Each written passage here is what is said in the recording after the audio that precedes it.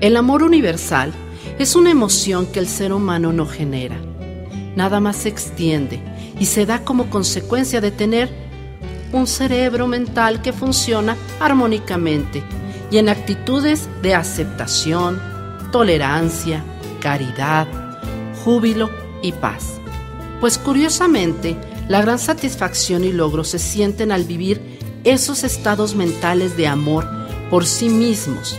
Es decir, el gran éxtasis de amor hacia X personas o creencias solo se da cuando la mente vive esa emoción o estado, misma que se diluye cuando en la mente coexisten otros tipos de pensamientos o circunstancias.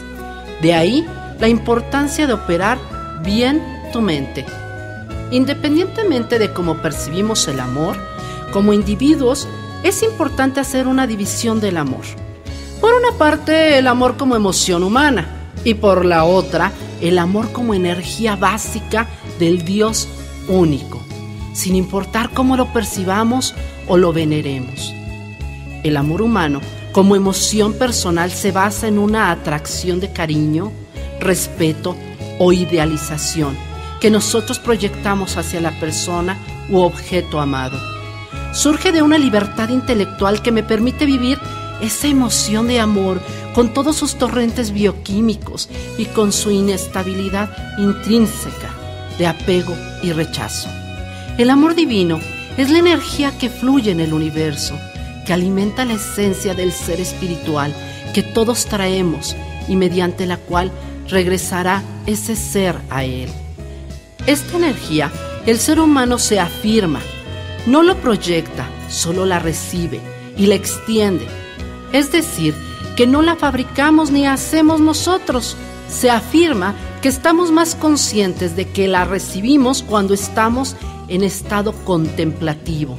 Y sus manifestaciones son de misericordia, compasión, impersonalización. Es decir, para todos, armonía, fluido, agradecimiento, serenidad, estabilizar, liberadora como algunas de sus manifestaciones. Se ha estudiado que cuando sentimos esta energía, los torrentes bioquímicos son físicamente mucho menos intensos, por lo que genera otro tipo de emoción de la que estamos analizando, aunque ciertamente la más innata. Hicimos esta división básica del amor humano y divino para poder imbuirnos en varios ángulos de análisis de esta vital y remunerante emoción humana. Analizaremos este objetivo principal de la humanidad, esencia del universo mediante esta teoría, ensayo sobre él. Terminaremos localizando nuestras fuentes de amor internas para darles una revisada. Finalmente, incluiremos las cualidades de amor y enamoramiento en forma comparativa.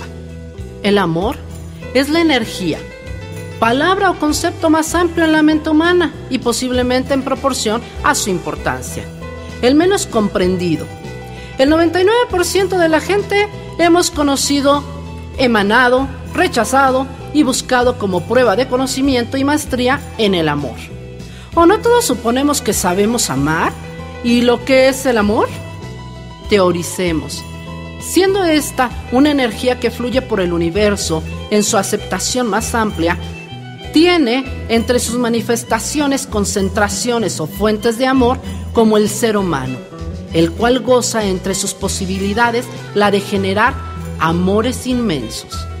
Además, podremos ver si nos abstraemos de nuestra manera de amar, ya que existen decenas de formas de amor humano a Dios, muchas otras formas de amor entre parejas y otras más para con los hijos y los padres, por mencionar las más presentes. Por lo tanto, podemos deducir que también entre los humanos tiene gran cantidad de formas o maneras de manifestarse. Como punto inicial, vemos que se manifiesta tan universal y tan polifacéticamente que sentimos que flotamos en esa energía que se llama amor y que somos como unas celulitas en el mar de la idea del amor que comemos del fluido directa y personalmente y emanamos a esos torrentes nuestro amor a nuestra manera y posibilidades. Tal vez la forma más profunda de auditar la fuerza y desinterés o pureza de nuestro amor o forma de amar consiste en responder a varios cuestionamientos. El primero de ellos nos remite la siguiente pregunta, ¿qué quiero que se me dé a cambio del amor que siento por determinada persona? Y aunque parece inverosímil, casi el 100% de los amores humanos esperan algo a cambio de su fiel e intenso amor. Analicemos el caso del humano que ama a Dios pidiendo que lo salve de la circunstancia en que se encuentra, pues curiosamente nos acercamos más a Él. Y podríamos decir que principalmente cuando estamos en situaciones de angustia, inclusive en las del amor. Es decir, que si hasta el flujo de amor que canalizamos hacia Dios es según la intensidad de nuestras necesidades. ¿Qué nos sucedería al canalizar nuestras energías amorosas hacia nuestros congéneres? Obviamente la intensidad de nuestro amor dependerá de cuáles son nuestros móviles profundos. Se afirma en ciertos núcleos de gente que la esencia del ser humano es el amor y que su función en el universo es emanarlo a sí mismo y a sus congéneres, haciendo de su pequeño universo un lugar de armonía al expandirlo.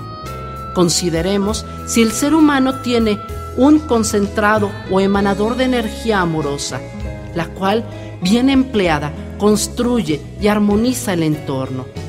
Es evidente, por sus efectos, que esa misma energía amorosa mal usada destruye y desordena este punto de concentración o generador de amor es el que algunas religiones llaman ser crístico o ser de luz. Esto nos podría llevar al segundo cuestionamiento, en el que nos preguntamos si nuestro amor es bueno o viciado. ¿Ese amor lo generas en paz, calma, armonía o con sentimientos totalmente diferentes? Para nosotros, la paz es una cualidad básica del amor. Analicemos también que hay varias formas de dar amor. Por ejemplo, el amor de inteligencia o sabiduría que le da un maestro a su amado alumno. El amor de salud y o perfección que le generamos a quien queremos curar o más concentradamente el de su médico a su paciente. El amor de fuerza que le damos a quien queremos ver triunfar o crecer. El amor de padres a hijos es un caso patente. El amor de sensualidad y de ternura, que marchan muy juntos, haciendo de la ternura otra cualidad básica del amor. Otra forma del amor es la del aprovisionamiento, en el que el generador da un bien, principalmente dinero y que entrega al traducir su amor en provisiones a sus seres amados. El amor perdonador es el que le enviamos desde a un hijo o esposo hasta un enemigo, al que le deseamos la paz. Por desgracia, la mayoría de los seres humanos pensamos que esta clase de amor no es importante, porque rara vez lo enviamos de manera consciente y es una energía tan importante al no darse, nada más ni nada menos mantiene el conflicto. De aquí surge el tercer cuestionamiento. ¿De cuántas maneras y a cuántos manifestamos nuestro amor? ¿Lo damos en abundancia? Lo que hace crecer esta energía en nosotros, mientras más das, más tienes y más recibirás. O como el avaro, a cuentagotas, con lo cual se atrofia el sentimiento ya que el amor que das no se puede acumular y lo que no se usa se pierde. La forma de amor en libertad es la que genera el ser humano en condiciones tales que deja crecer al objeto de su amor aún a cambio de no tenerlo. Como ejemplos tenemos a la madre que envía a un hijo a la escuela o la novia que deja ir a su amado cuando siente que es lo mejor. Posiblemente la última autoprueba de verificación de la fuerza de nuestro amor es si lo fomentamos en la libertad o lo coaccionamos. También observamos que el verdadero amor lleva una gran presencia de Espíritu Santo, el que se manifiesta en los seres humanos a través de sus pensamientos puros, positivos, armónicos y de paz.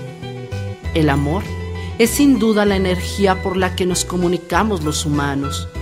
Y al teorizar que todo lo que aportemos a ese flujo, mediante nuestros pensamientos, afecta las energías de amor que generamos y que recibimos, nos permitirá deducir la necesidad de evaluar nuestras maneras de amar y de pensar, ya que es la forma en que se controla la calidad y modos de amor que emitimos.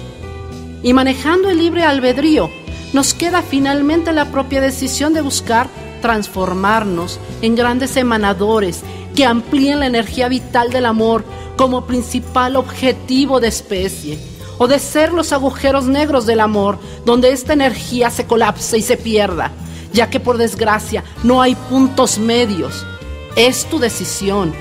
Observa analíticamente cómo generas tu amor, cómo lo motivas, cómo lo perfeccionas, cuáles son tus maneras de amar, cuáles son esas formas que tienes de darte y entregarte a los que más amas, incluyendo a todo lo que tú tienes como pertenencias, tu trabajo, tus cosas, tu cama.